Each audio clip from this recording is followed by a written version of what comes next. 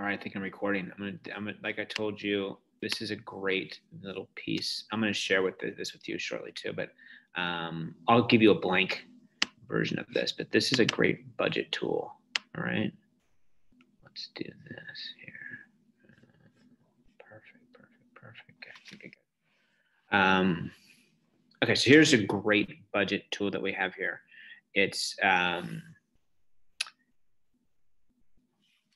here are the main categories that you, you should uh, have in a budget. Emergency savings. Like I remember I, I said one time, 10% off the top, meaning before you pay anything, if you get a check, it's if you get a check, it's going to be worth a hundred for a hundred dollars for your work. 10% automatically gets put into savings. That's your emergency savings, right? 20 to 30% of your of your income should go towards housing, four to seven percent towards utilities, 15 to 20% towards food, and we'll kind of go over these in, in detail. Uh, six to 20% in transportation, two to eight in medical, 15 to 20% in debt, three to five in entertainment, two to four in clothes, and then goal savings and then miscellaneous. Um, and here's kind of how the categories break down. Like, in, like your housing could be your mortgage. Actually, let's talk take it from top. So let's say you're making three thousand dollars a month. You should your take home should be three thousand dollars a month. Three hundred of that should go into emergency savings if your take home is $3,000 a month, you should allocate six to nine hundred dollars for your for your housing if you're going to pay rent. That's not. I mean, where can you get a place for six to nine hundred dollars a month? It's it, it, it's tough, but this is to have a good, healthy budget to live in a somewhat comfortable way. Um, utilities, which and what would be in utilities? Do I have it in here? I don't have.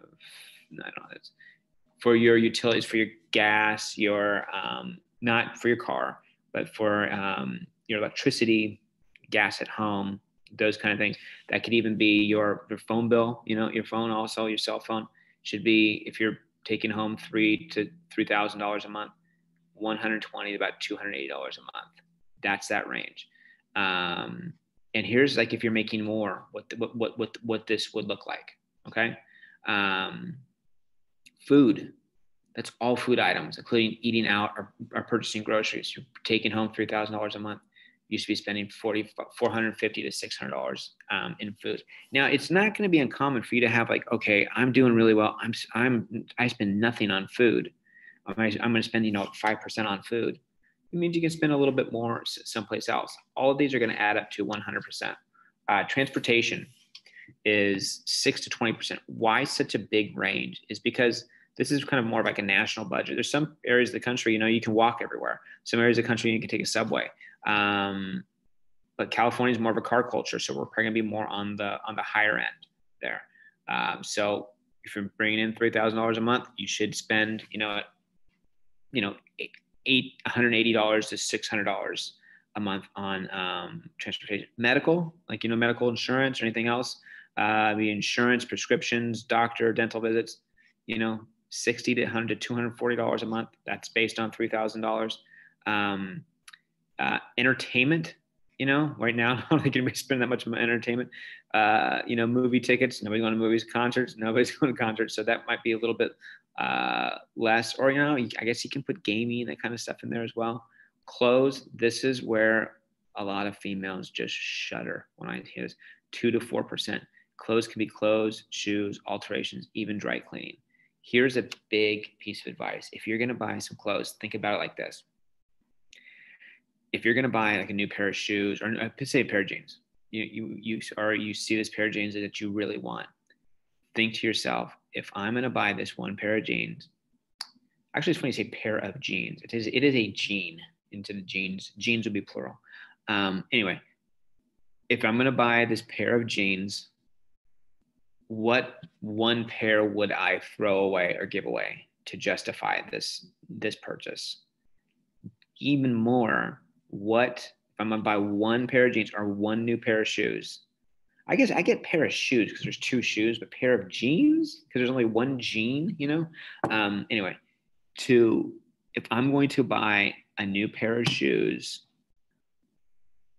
if you do it safe, what pair of shoes am I going to get rid of, throw away, giveaway to justify this purchase. If you want to take it even a step further, if you really want a new pair of shoes, ask yourself, what two pairs of shoes would I throw away, get rid of two for this purchase? It really makes you think, oh my gosh, how much how, do I really need these? So, um, and then goal savings. Goal savings would be, you know, for like investments, education, house, I mean, it's something that you really um, want to save for as, as, a goal. The emergency savings is to save 10% off the top so you can have potentially have that six months of savings um, set up for you. Um, so if something happens and you lose a job, you have a little bit of a cushion. Um, and then the um, goal savings would be, you know, hey, I'm gonna, I'm saving for, uh, I'm saving for a car, I'm saving for a vacation, I'm saving for something. Set that would be five ten percent off of three off of a three thousand dollar um, net would be that much. Um, miscellaneous. This is a killer hobbies, cosmetics, uh, toiletries, gifts, tobaccos. My wife would go crazy with miscellaneous at Target. She would just be like, I mean, I would just, I thought we were working for Target. It's like, you know, I was like, Target, Target, Target, Target, Target, constantly. That can, that can destroy you. A good piece of advice is take your monthly, right? So if, if you're bringing in $3,000 a month, take $300 of, take 10% of that, right? which would be $300. I'm going to do the math really quick here. Hold on. My phone is okay. Take that $300, which is 10%, divide that in weeks. So about seventy dollars. And, and when you when you divide by weeks, and some people some people always think, oh yeah, I'm gonna figure out if it's three hundred dollars. I'm divided by four. Don't divide by four. Divide by four point three because technically there's four point three weeks in a month because there's fifty two weeks in a year and 12 months in a year. If you divide 52 by 12, it ends up being 4.3. Anyway, um, if you put $70 cash at the beginning of the week in your pocket, that can be your miscellaneous. So when you have to buy all these miscellaneous things, it's much more tangible because it's so easy when you have a debit card and just go, it doesn't it doesn't seem real. You spend more money with a debit card than you would with cash. I know cash can you know be obsolete at some certain point, but there are places that still take cash. Um, so to cut down on this miscellaneous, take your three thousand dollars, divide that by four point three, ends up being sixty nine point seven six or seventy dollars a week. Keep that seventy dollars a week in your in your pocket in cash. So when you have to buy these miscellaneous things, you at the beginning of the week you have seventy, and like, oh, I got to go buy X, Y, and Z it means a lot more or it's more tangible when you have when you're looking physically at that cash you can stay within your budget a lot better on the miscellaneous side. So um, i'm going to share this sheet this this sheet with you. I think it's a great sheet. You will be given on an exam and i'll go through this. I will give you a fake family a fake scenario and basically tell you okay here's how much they're spending on uh, here's how much the rent is, here's how, much, here's how much they spend in food, here's how much they spend in transportation, like, like car related uh, or transportation related expenses. And then I'll have you put together a budget and ask for their percentage breakdown for each category. How much is that a percentage of their budget budget? And then we will, then I'll have you make suggestions.